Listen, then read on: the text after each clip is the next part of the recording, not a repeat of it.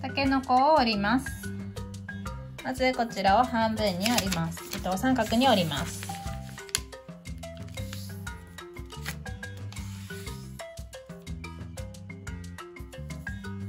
こちらの角の部分を1枚だけ内側に折ります。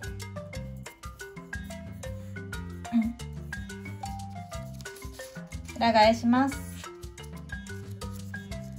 こちらの辺が3分の1になるように折りたたみます。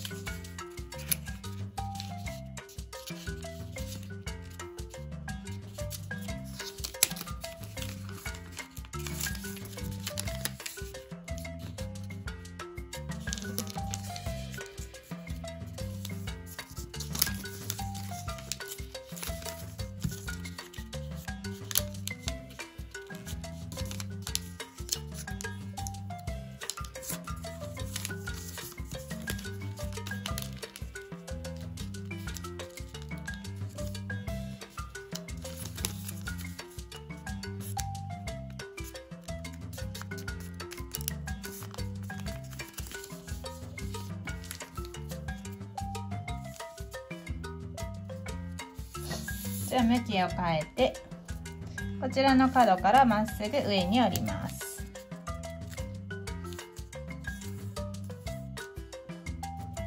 反対側も折ります、うん、裏返します。こちらで完成です。